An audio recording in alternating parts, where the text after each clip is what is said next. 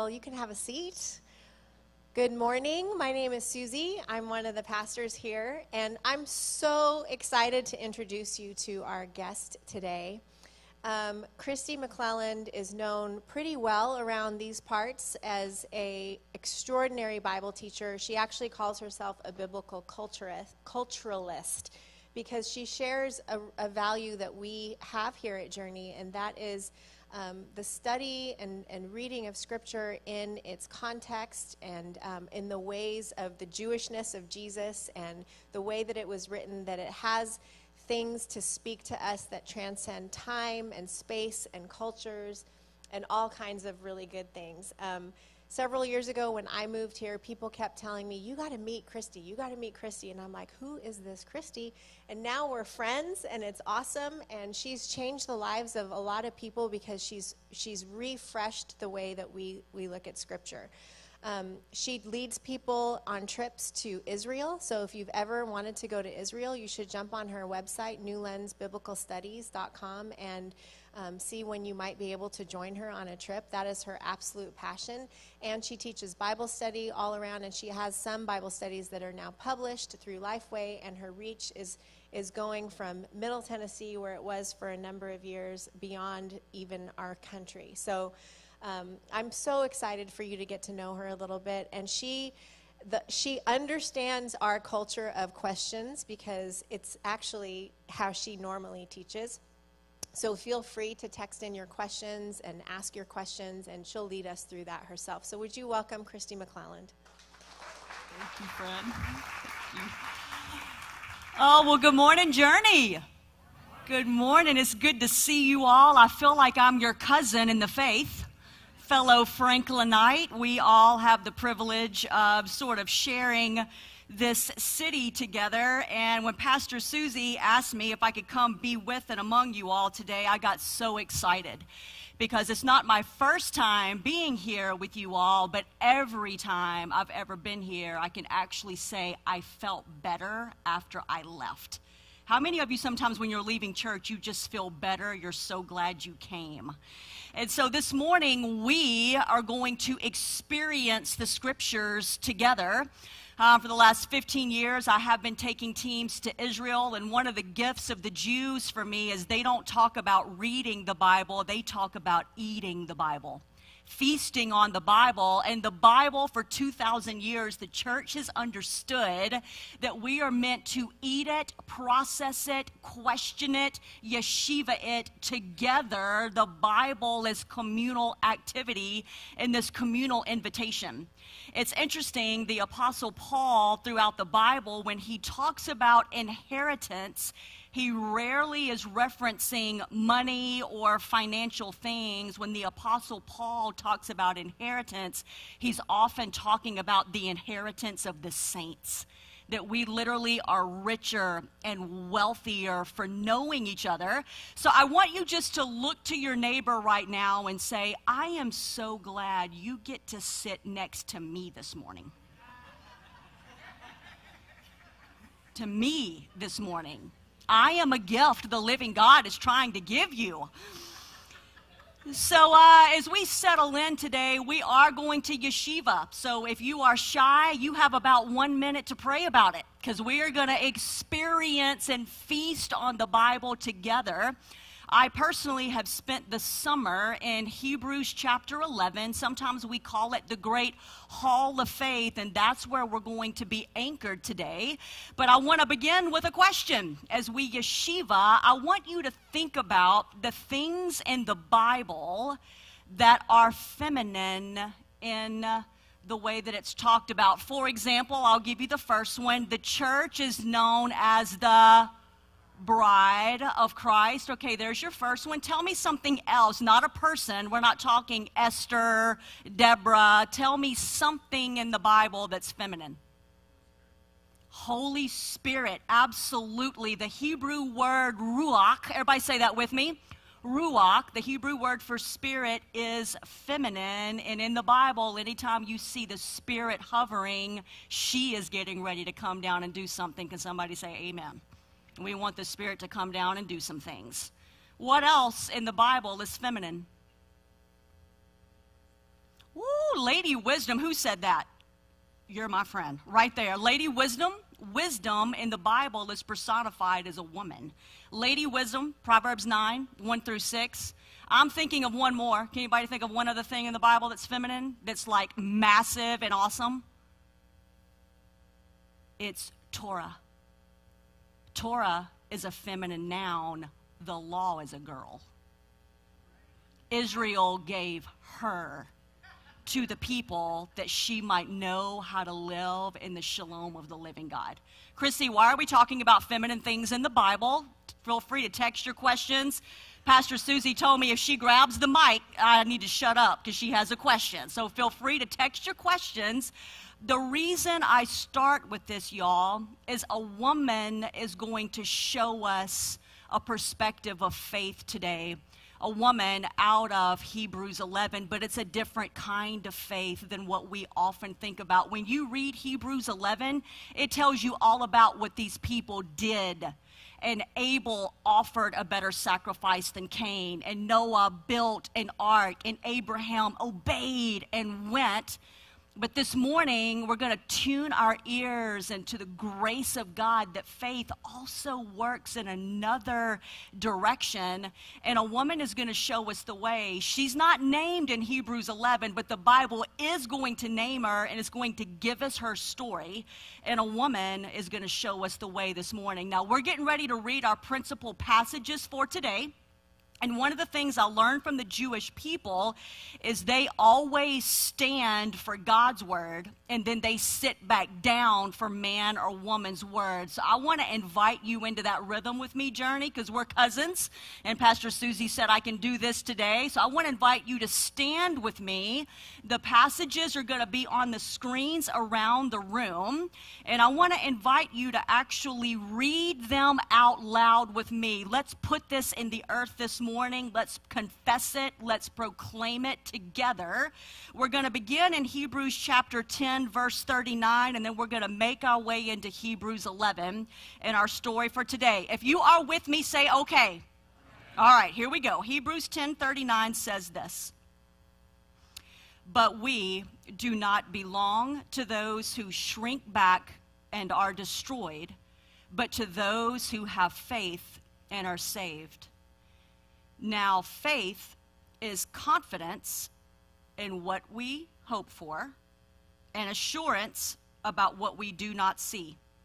This is what the ancients were commended for. Keep reading with me. And by faith, Moses' parents hid him for three months after he was born because they saw that he was no ordinary child and they were not afraid of the king's edict. While you're standing, I want us to practice something that the church has been doing for 2,000 years and the Jewish people have been doing it for even longer. I want to invite you just to take your right hand and look at it. The word hand is found in the Bible some 1,600 times. There's something about our hands. And the Bible talks very specifically about the right hand. The right hand is the hand of favor, it's the hand of honor, it's the hand of blessing. In Israel, they never reach for you with their left hand. That's considered shameful. They always reach for you with their right hand. And I want us to put our right hands upon one another this morning and pray that the living God might posture us to receive what it is that the Spirit wants to say to all of us through the Word today. So if you feel comfortable doing this, I want to invite you to put your right hand on the shoulder of the person sitting to your right. If you see somebody and you need to kind of move toward them, if you don't know their name, ask them for it.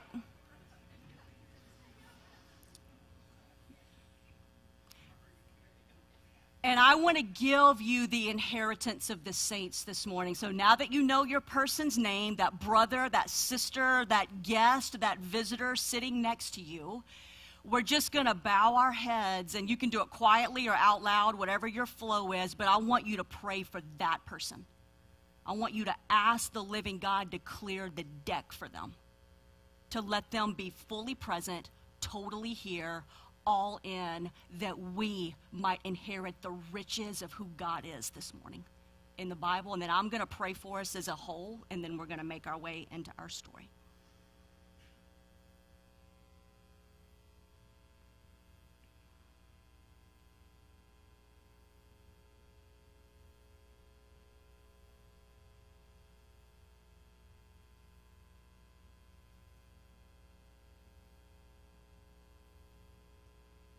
Father God, thank you for this Sunday morning.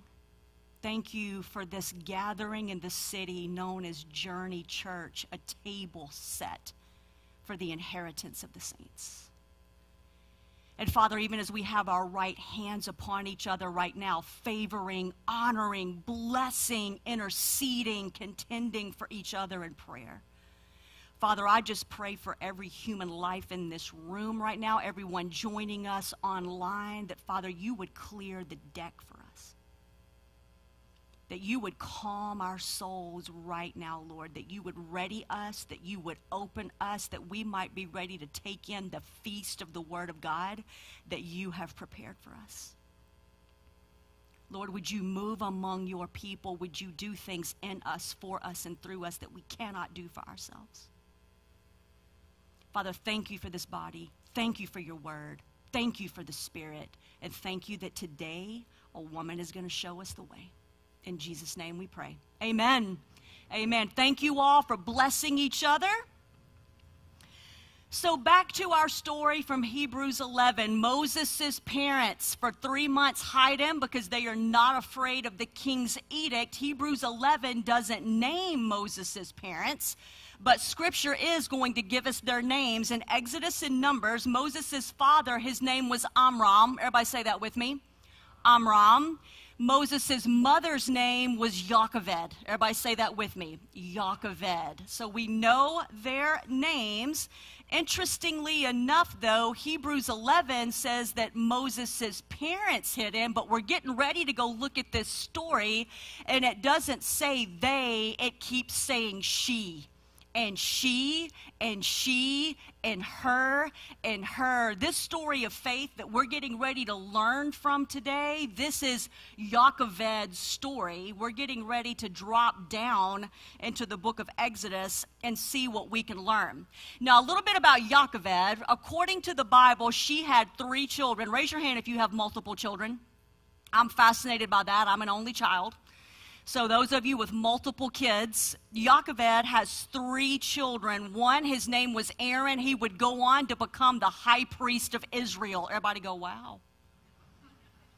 Then there's Miriam. She is known as a prophet, or we might say a prophetess, because she's a woman. Everybody go, that's amazing.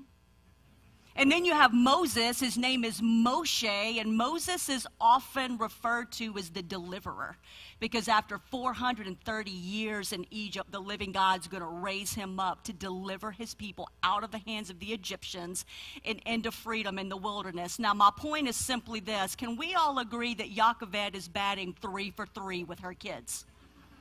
She's doing pretty good. A high priest, a prophet, and the deliverer. you know, I have a really good friend. She's got three kids. A few weeks ago, I was catching up with her. I was like, hey, friend, how's your family? How are your kids doing? And she goes, you know, I like two out of the three right now. I was like, well, at least we're in positive territory. I have another friend when her kids are kind of out there, um, kind of doing their own thing, maybe not making the wisest decisions. She'll just say, oh, girl, he's out there just working on his testimony. I love that. Right? But Yocheved, man, Yocheved is batting three for three with these kids. And so now I want us to come back quickly to Hebrews 11. What is this king's edict that is upon Amram and Yocheved that they're going to hide Moses? For three months, they're not afraid of the king's edict. Now let's go to Exodus chapter 1, verse 22. The scriptures will be on the, the screens for you. It says this Then Pharaoh gave this order to all his people Every Hebrew boy that is born you must throw into the Nile, but let every girl live. Now, I don't have time to teach this. We'll have to do this some other time. But can I just say that the Pharaoh underestimated the girls? Because in the end, it will be six women who are his downfall and his undoing. Two Hebrew midwives. Their names were Shiphrah and Puah. You have Yocheved, Moses' mother, Miriam, Moses' sister. You have the Pharaoh's own daughter and her Egyptian maidservant. The Pharaoh was afraid of the boys. He has an edict of infanticide. Every male Hebrew boy that is born, I want you to drown him in the Nile. And yet, in the end, it'll be the women who are his undoing. Now, I am a Bible nerd. I don't know if Pastor Susie told you that, but I had the opportunity to study in Egypt and in Israel. And I want to show you a picture of a hieroglyph in a tomb in Egypt. And I want you to look at that picture as you hear my voice now as we process it. This gives us a good idea of this edict, this spirit of pharaonic power of empire. The pharaohs are always larger on a hieroglyph. This is Ramses III. This is a place called the Medinet Habu Temple in Egypt. Ramses III, some scholars believe, was the last great pharaoh of Egypt before the uh, Egyptian empire started to decline. And you'll notice he is holding a sickle in one hand. It is raised. He has captured two Libyans. He is holding them by the tops of their heads, and he's getting ready to run them through. I want you to look how menacing that picture picture is, and it gives you the spirit of this edict that Amram and Yocheved are under when we come to our story in Exodus. Now, if you're still with me, say, okay. A woman's going to show us the way today. What type of faith did Yocheved exhibit, and what is it that we can learn from it today? Exodus chapter 2, verses 1 and 2 says this now, a man of the tribe of Levi, everybody say Amram, married a Levite woman, everybody say Yocheved, and she became pregnant and gave birth to a son. And when she saw that he was a fine child, she hid him for three months. Now, this is an interesting statement to me because most parents do think that their babies are beautiful right? So, this idea that Moses is a fine child, what does this even mean? And I want us to drop down into the Hebrew language because language and culture matters. It enhances our understanding of the story of the text. That word fine there, in Hebrew, it's the word tov. Everybody say that with me tov. Tov is the Hebrew word for good, but it's not just good, it's like deep good. This is like Garden of Eden good. It's the same word that is used in Genesis 1 and 2 at creation when the living God is creating all things, and he keeps saying, and it was good, and it was good, and it was good. It was Tov. It was Tov. It was very Tov, there is something about Moshe, something about Moses that Yocheved is noticing. And if you're the Chronicles of Narnia people in here, there's something about Moses that's the signs of spring. There is a hopefulness, something about him is raising this Edenic good, this idea of good things. The deliverer has been birthed into the world, and now the story is underway. We carry on in Exodus 2. It says this, but when she could hide him no longer, can you feel that? Can you feel that? But when she could hide him no longer. She's going to do something. She's going to faith. Biblical faith is a verb. For the Greeks, faith is what you believe. For the Jews in the world of the Bible, faith is what you do. We're an embodied faith people. It's going to say she got a papyrus basket for him and coated it with tar and pitch. Now, if you're still with me, say, okay. The question becomes historically and culturally, in her world and in her moment, what is she doing here? When she can hide him no longer, she's going to faith. What is that act of faith? She's going to build a basket. She's going to cover it with tar and pitch. Well, again, the Hebrew language, and this is where it starts to get gospel gorgeous. Just look to your neighbor and say, dial in. Dial in. This word basket, it's the Hebrew word tiva. Everybody say that with me. Tiva, which is the same Hebrew word for ark. It's the same exact word used in Genesis 6, and Noah built an ark, and Noah built a tiva. Yocheved builds an ark for Moshe. She is defying the king's edict. She is trying to save his life. We already have a massive salvation through water story with Noah and the ark, and here comes another one. Moshe is going to be saved through an ark in the Nile, and we're getting ready to see it. It's that idea of faith that I think we often don't think about, but we're heading there. The story continues. Then she placed the child in it, in the ark, and put it among the reeds along the bank of the Nile. His sister stood at a distance to see what would happen to him. Stop and pause. Where are the Hebrew boys being drowned?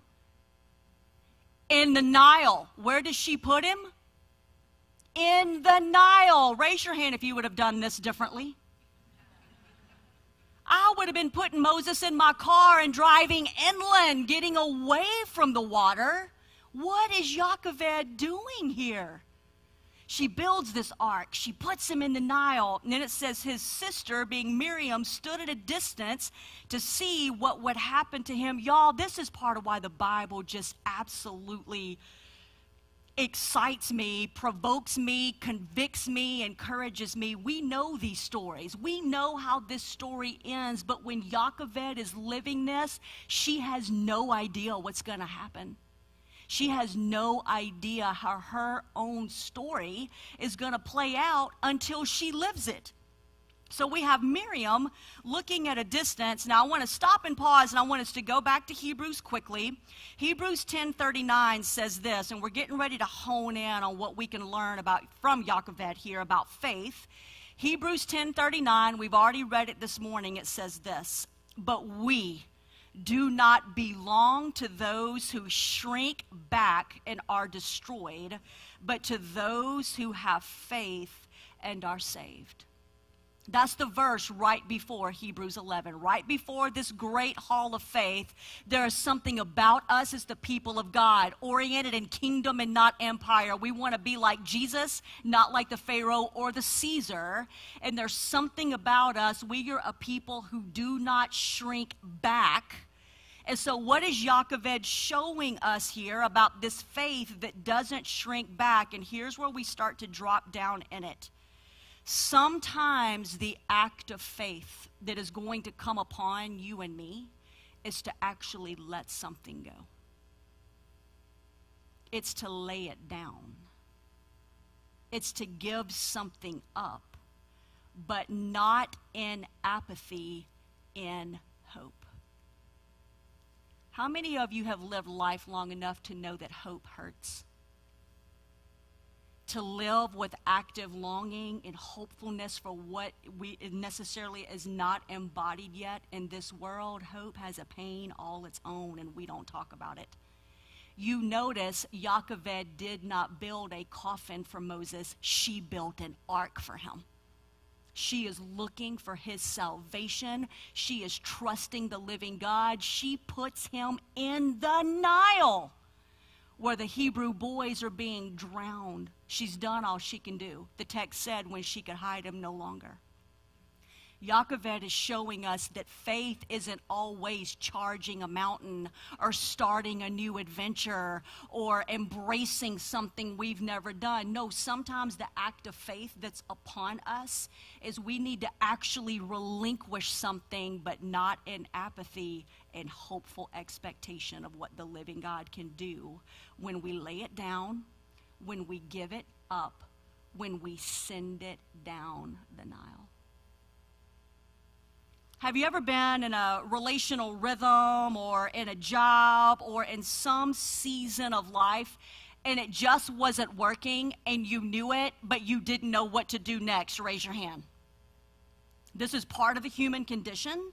It's part of what we're seeing in Yocheved right now. She can't hide him any longer. She has to do something. What's it going to be?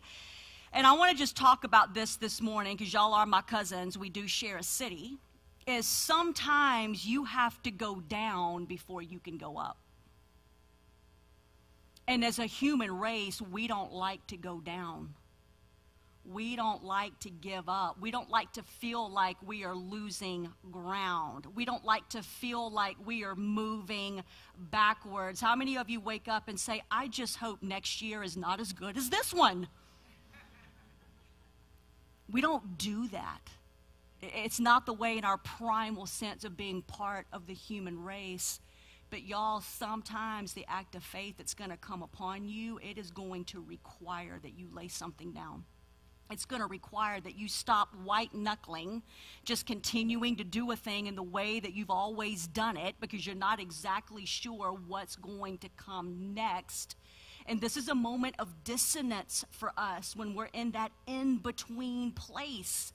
You know, part of why I'm teaching this today, Pastor Susie knows this about me. I am a calendar girl. I feel the calendar in my body. And today's the last day of July, July 31st. But the last day last month was June 30th, and that has become a memorial marker day in my life because it's the date six years ago that I went down. I want to show you a picture of my memorial marker. I have this in my house. If you come in my front door, it's the first thing you will see. I see it. It's the last thing I see going out of the door of my house. It's the first thing I see coming in. Zakar is the Hebrew word for to remember. And you can see the date right there, June 30th, 2016. And six years ago, on June 30th, I had to go down. And it was one of the hardest things I've ever done. I had served on staff at a church for 17 years. It wasn't working anymore. I am single living in Franklin, Tennessee. Has anybody else here noticed how expensive Franklin, Tennessee is? Right? So I'm afraid, for those of you that do Enneagram, I'm an Enneagram 6, so I'm given to safety. I am Captain Safety, in fact. I am just here to keep you all safe. I'm noticing the exit doors, I've already thought it all through. So, the idea of me taking a risk, the idea of me as a single person, like leaving a job without having a job with no sense of what was coming, it was a terror to me. And June 30th, 2016, it was my last day at that church, and I stepped into the nothingness and I went down. For the first time in my life, I started having panic attacks. I couldn't sleep at night. I am a morning person, y'all. Raise your hand if you're a morning person. Where y'all are here at the early service. Where are my night owls? Your day starts at like I have no idea what you are. We'll never hang out, but I'm sure you're a great human being. I'm a morning person and y'all, do you know what it's like to wake up at 4:45 in the morning with absolutely nothing to do but freak out at what you've done? Moving into this place where I had just nothing to fill up my days writhing. Did I do the right thing? The next things weren't immediately coming. Y'all, I went down. I'm just going to tell you the truth. I drank one too many margaritas a few times, just keeping it real. And I did not know what, y'all, there were times in that season I could not tell if the living God was trying to kill me or heal me. It felt the same. I didn't know up, down, what's next. My community is catching me, they're encouraging me, they're praying for me, but I had to go down. Because there were some things that the living God was getting ready to do in my life that He couldn't do until I laid it down, let it go, gave it up. Some of you sitting here this morning may be in a season like this, and y'all are, I'm your cousin and I'm your sister in the faith. And I am so sorry, but I'm about to tell you something that is just true in the world. If you're ready, say, okay. Sometimes you have to hurt your heart to help your soul. Sometimes you're going to have to do that thing that feels like it is killing you.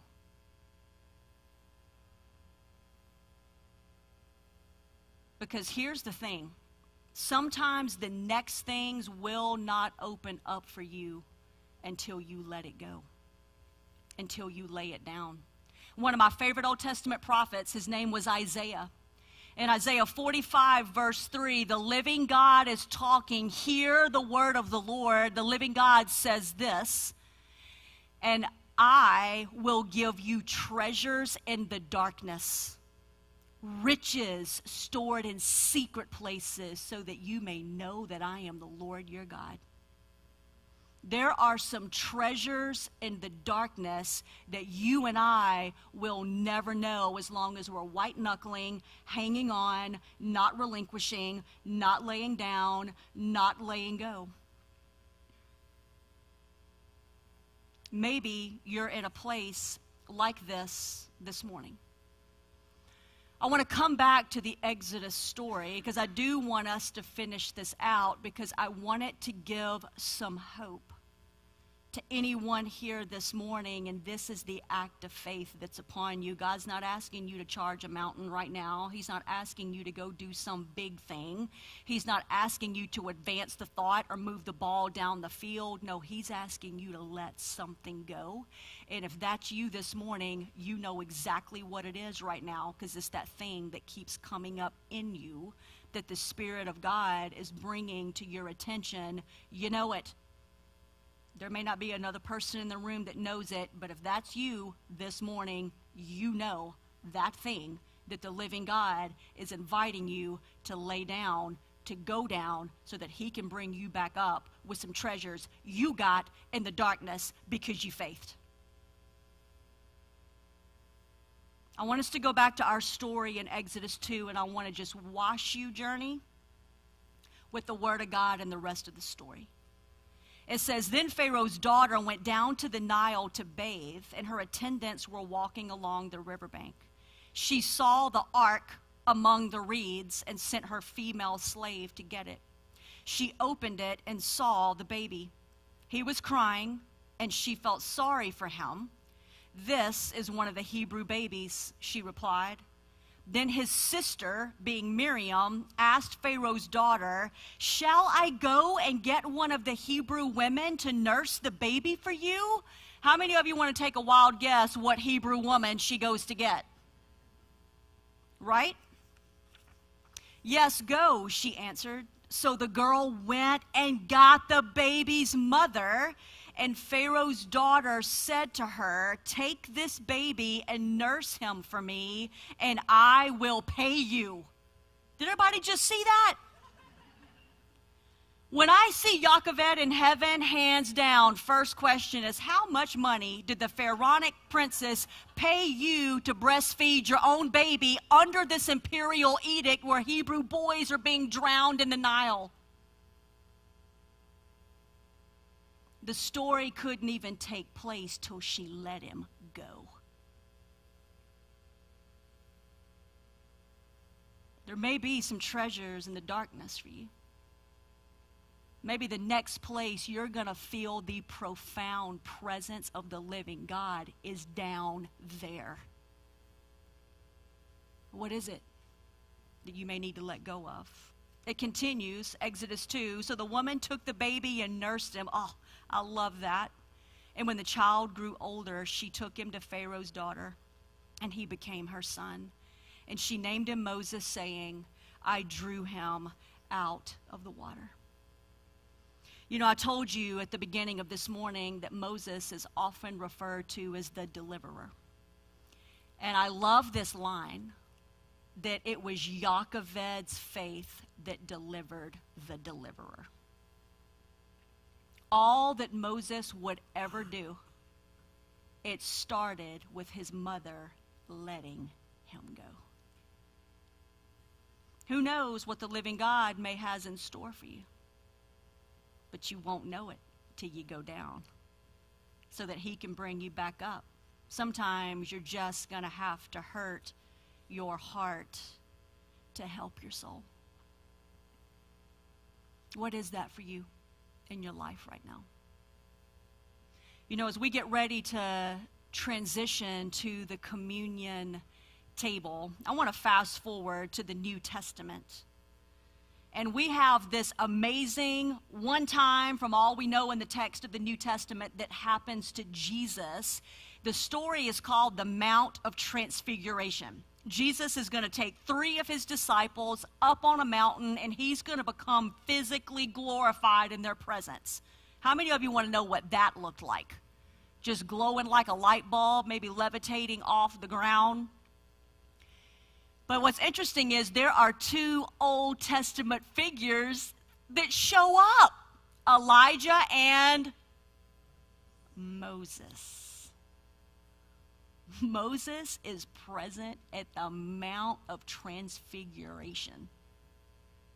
All he would ever do started with the faith of his mother to lay him down, to build an ark, not a coffin, to let him go in hopeful expectation, not apathy. We are not a people who shrink back from hard things.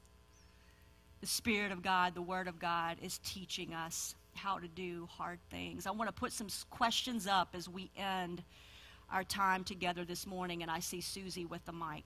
So I'm going to ask these questions, and then Susie's going to. Is that okay? Am I doing all right?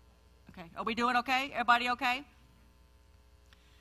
The questions are obvious, but as your sister in Christ, as your cousin in the city, I'm going to put them in front of you right now. Number one, by faith, what is it that you need to let go of? Number two, by faith, what is it that you need to lay down? And by faith, what is it that you need to give up? What's coming up for you right now? What is the Spirit of God saying to your inner man or your inner woman right now? Susie, you have some questions? Yeah, there's one question. Th- There's just one question. There's just one question. Yeah. Let's go. Let's make it count. Can you say, can you say more about giving things up with hope, not apathy? What do hmm. you think that looks like? Oh, man. Okay.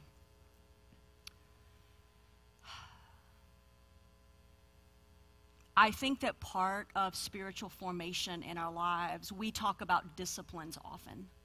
Wait, Susie, let me ask one question. What, how long can I talk? I want to be respectful of. I- Um, you got seven more minutes, and then we also have another question here. So don't take the whole seven minutes Okay, on this one okay. question. So I'm just, I'm just trying to obey the rules here.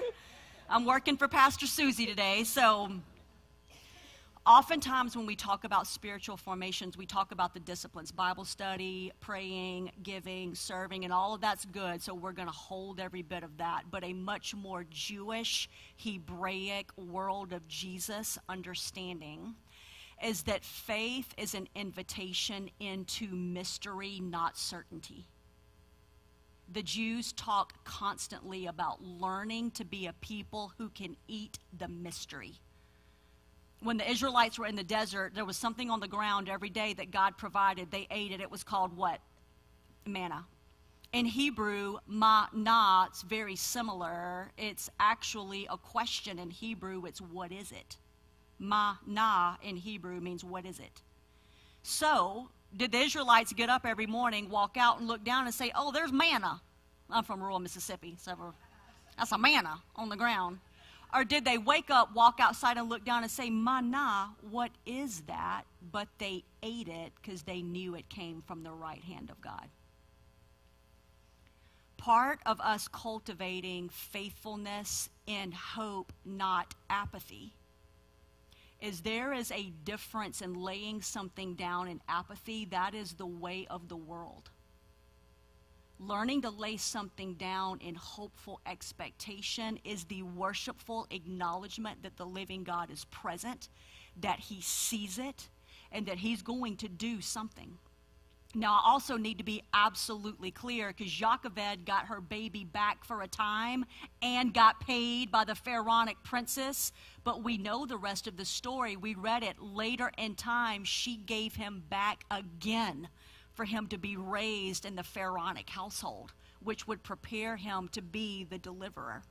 So I think it's not just can we lay something down, but it's literally can we lay it down in a posture of eating the mystery rather than certainty. We think mystery is going to mess us up. Certainty messes us up because it moves everything into a finite box. And all that I know of the living God is back to the Chronicles of Narnia, he's no tame lion. We often don't know how he's going to work or move. So. Hi, Kristi. I'm Good Bo. morning. Good morning. Um, uh, my question is, what treasures did God have for you in the darkness of June Yeah. 2016? That's a great question. Um, man, I'm going to try not to cry.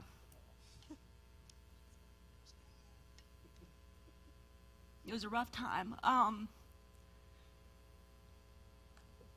I learned that at my worst, he loved me still.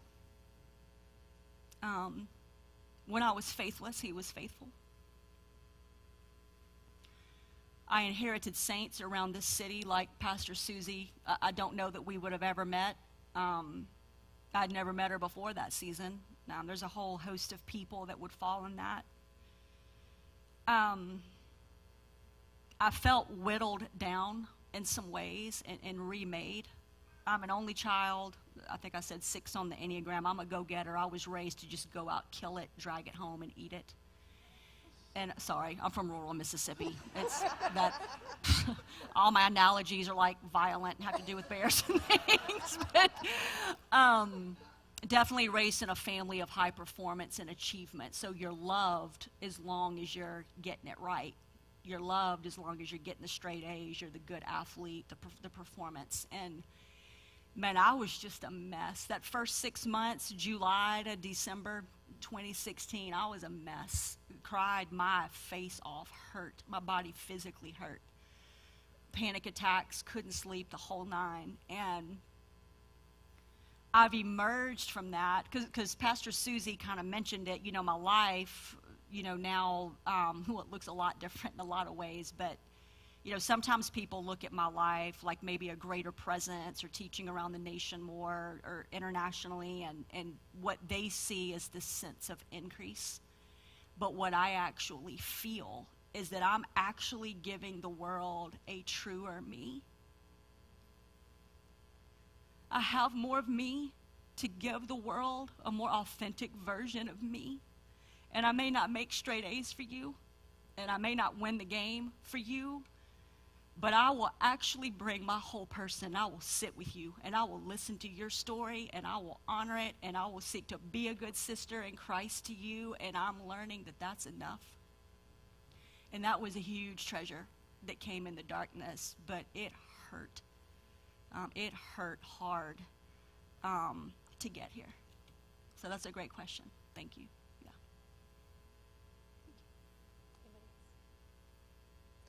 Thank you for sharing that. I So we're going to move to the table now? Yeah. Mm-hmm. So I want to invite the band to come up. I love that you all share in communion each and every week here at Journey Church. There are four tables that are set for you. I love how Pastor Susie calls it an open table.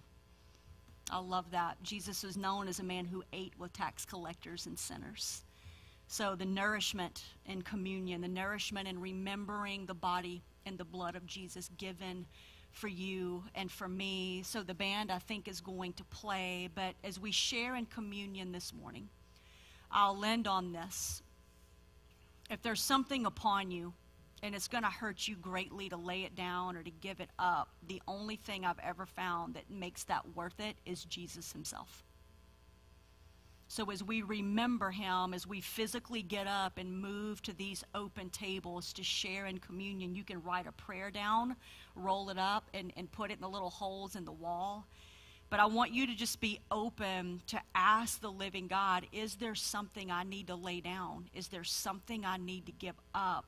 And to ask the living Christ to be worth it for you to let the answer to that be yes, that He'll give you the grace to do that today. So the tables are open for you, church. Let's all go share in communion together. Thank you all. It's been so good just to be with you all this morning. Thank you.